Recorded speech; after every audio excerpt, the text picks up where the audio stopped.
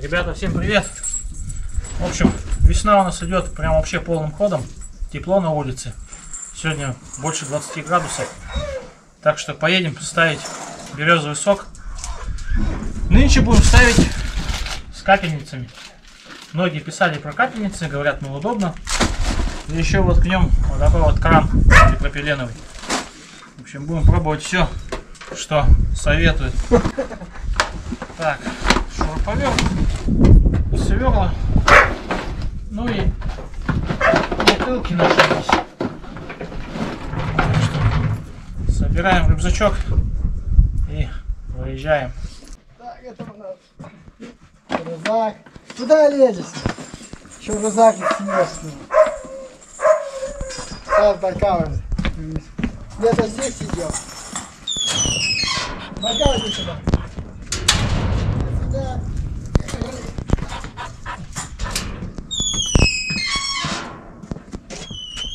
Ожирел нам.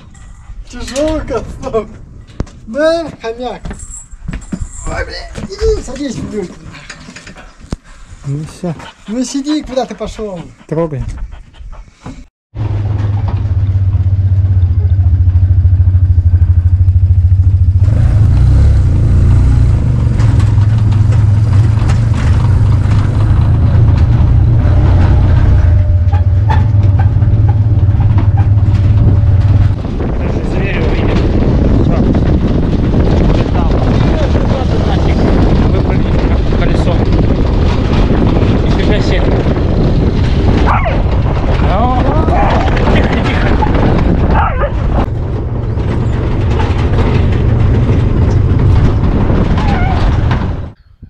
Пошла. На 1 мая пошла нынче река. Ну, еще неделька и ото льда не останется и признаков. Речка уже чистая будет.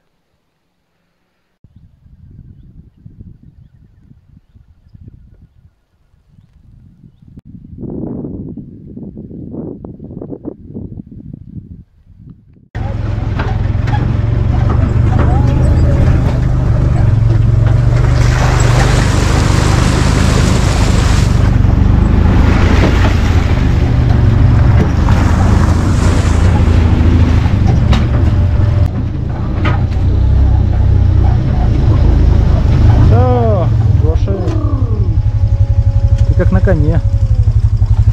Ну, здесь есть березки вот в Ну, кучке. сейчас вот тут поставим. Здесь поставим. Так, а что, на десятики будем ставить? А ты десятики брал? Ну, вон бы муравей лежит. Сейчас принесу. Рыжий. Ну-ка. Все, иди, иди, иди, иди. Да иди, иди отсюда. Ну же сюда. Иди, что? Присядь сюда. Ты еще бутылку унесешь. Иди отсюда. Просверлим повыше, говорят, тут сок лучше. О, сразу видите, ребята, побежал.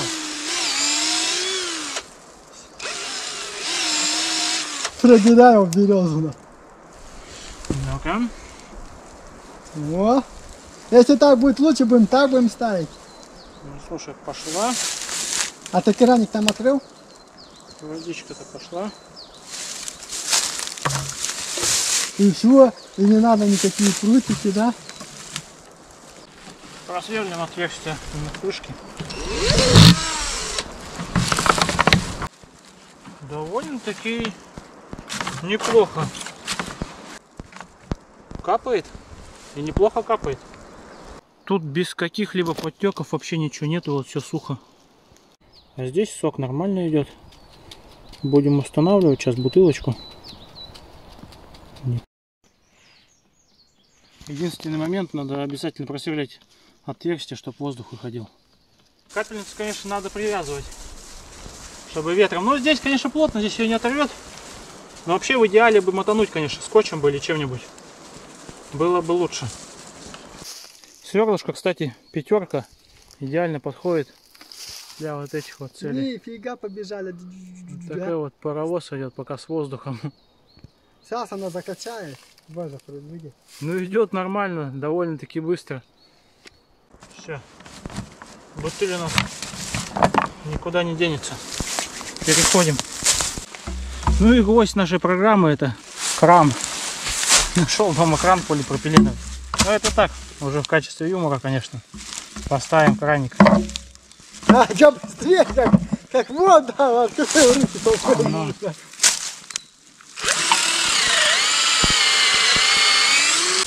Ну и все так.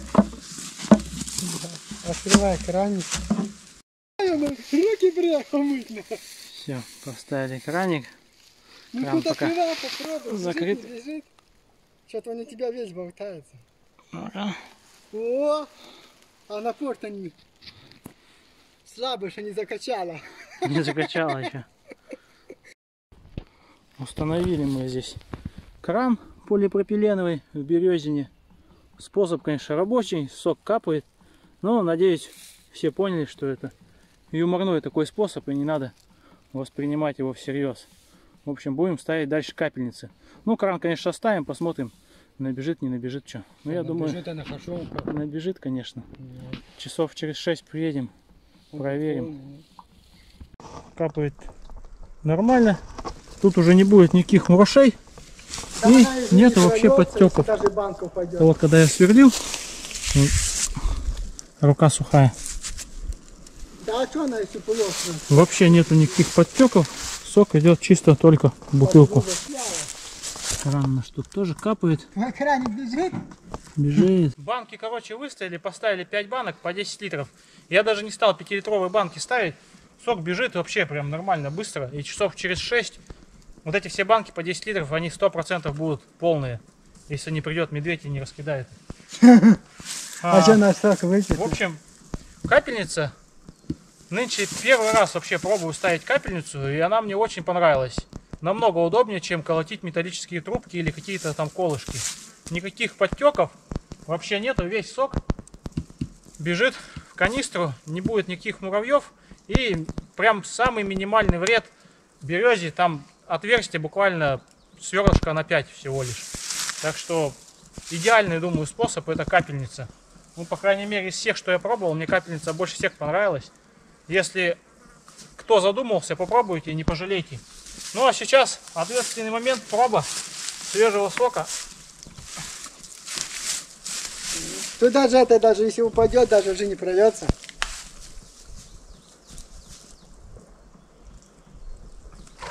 О, сладкий, нормально, Э, Нормально, пол бутылки уже выпил. нормально.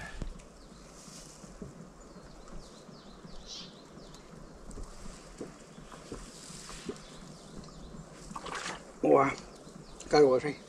Ну все, в принципе, банки выставлены. Едем домой, часов через 6 приедем и будем сливать. Возьмем с собой флягу, еще какую-нибудь. Ты что, ё-моё, блин, чуть не... Как фаняра, блин. Ты чуть камеру не снес, ё-моё. Вон, блин. Рыжий не кусай его. Так что отчаливаем, ребят. Стой, стой, пошлите, пошлите, пошлите. Ты чуть камеру не снес, вон, ё-моё. Все. Время у нас уже к вечеру идет. Поедем сливать. Потихоньку едем, взяли флягу.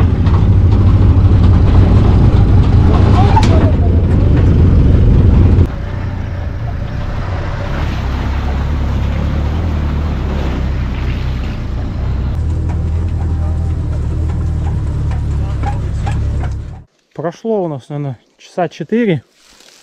В общем, приехали, но вижу, что банки не полные еще. Все-таки банки большие. Надо было оставлять на ночь их. Мы приехали вечерком. Здесь пол банки. Здесь тоже половинка.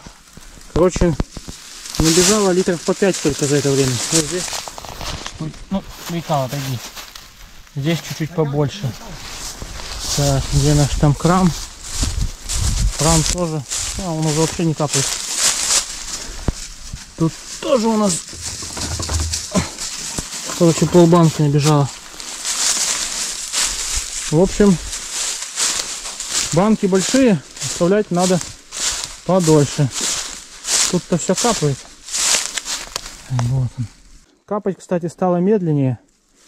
Вообще, в идеале бы, конечно, две бы, наверное, да, и в одну банку такую большую. Ну, либо просто надо оставлять на подольше, чтобы эти банки хотя бы часов 12 стояли. Но вот 4 часа еще не полные. Все-таки баклажки большие. Ну, что поделаешь. Будем сливать, что есть. Потом будем ездить маленько пореже, конечно. Надо побольше времени.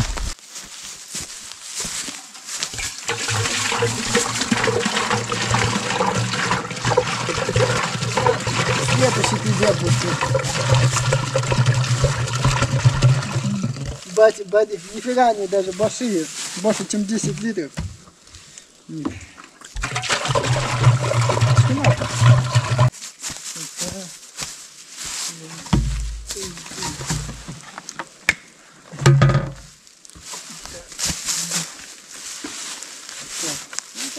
Кто тоже добрый.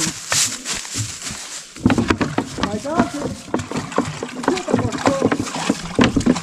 Да, да, да. Остался что? Ну-ка нельзя.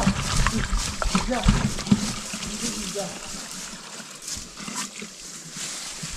За 4 часа набежала, наверное, здесь, не знаю сколько здесь, ну, литров 28, наверное. Потому что фляга 36, здесь еще литров 8 надо. Так, ну ладно. Сколько есть, приедем еще разочек. Так. Как бы в таком темпе, чтобы накапало 10 литров. Ну, тут, наверное, часов 12 надо. Так что, либо ставить еще одну капельницу, либо просто реже проверять. Ну, мы будем просто реже проверять.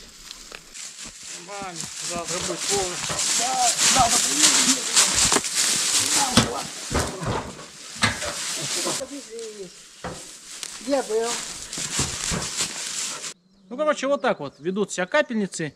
Если честно, мы вот первый раз в жизни вообще ставим березовый сок таким способом.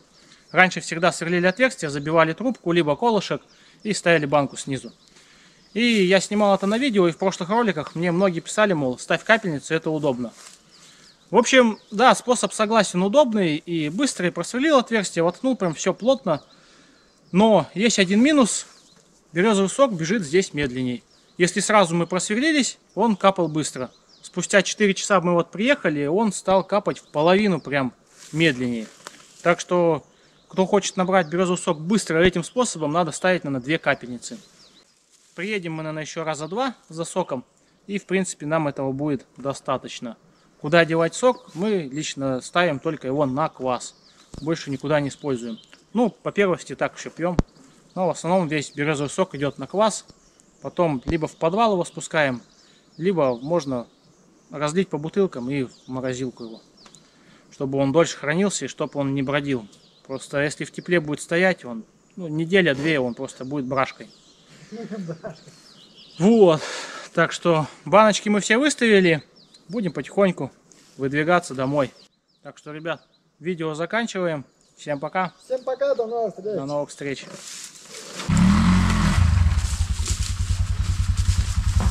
Где забрать? Поехали.